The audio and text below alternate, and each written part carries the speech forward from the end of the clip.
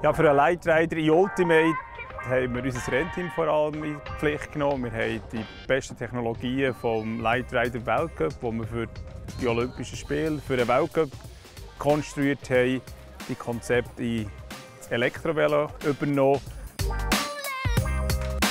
Zweite war und vielleicht das Wichtigste ist die Partnerschaft mit Maxon Motors, wo wir eigene Batterie zusammen entwickelt haben, den Motor, den sie weiterentwickelt haben, für eine bessere Sensorik.